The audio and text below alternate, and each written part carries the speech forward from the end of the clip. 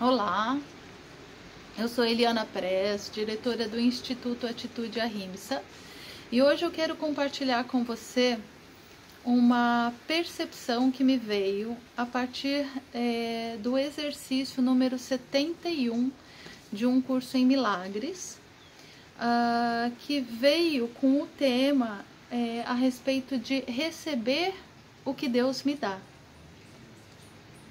Então, é, durante essa lição meditativa, me veio assim: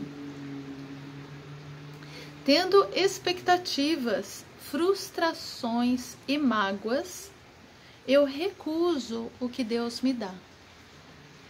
O que é que são as frustrações, as mágoas, as expectativas, se não a recusa é, daquilo que está acontecendo na minha vida e eu queria que fosse de outro jeito.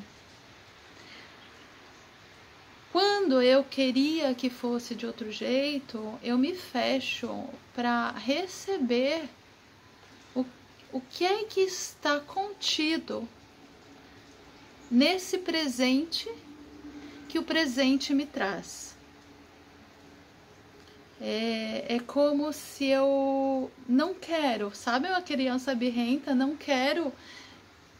O presente não está embalado como eu gosto, com a cor que eu gosto, eu dou um tapa no presente, jogo ele para lá e fico emburrada e não abro para ver o que é que tem ali para mim e receber o que Deus me dá.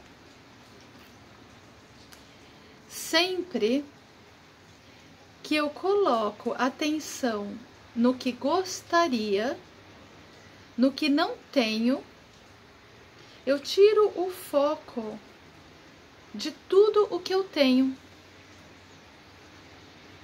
do que recebo, recusando o que Deus me dá.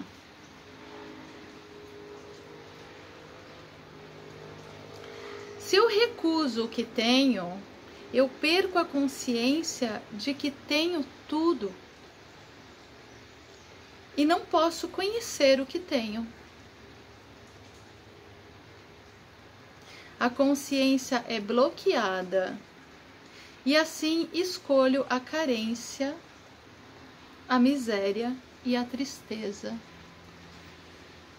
Então, isso é a consciência de, de carência ou a consciência de abundância, ela é uma escolha de eu receber o que eu tenho, é, de perceber que aquilo que está acontecendo na minha vida é exatamente o mais perfeito para mim.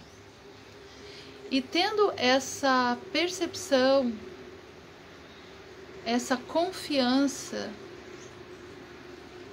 no amor e na providência de que nada é por acaso, então eu posso realmente olhar para o que é que o que é que essa situação ou essas situações estão trazendo para mim? O que é que elas me oferecem de benefício, de feliz, de descoberta, de aprendizagem? É, numa postura de abertura para perceber que isso é o melhor para mim. Então a pergunta é: como é que isso é o melhor para mim? E conectar e deixar vir é, essa concordância com aquilo que está acontecendo. Aceitar o que tenho é receber o que Deus me dá, ter gratidão e felicidade perfeitas. É isso, essa é a lição de hoje. É, deixa o seu comentário aqui é, no campo de comentários.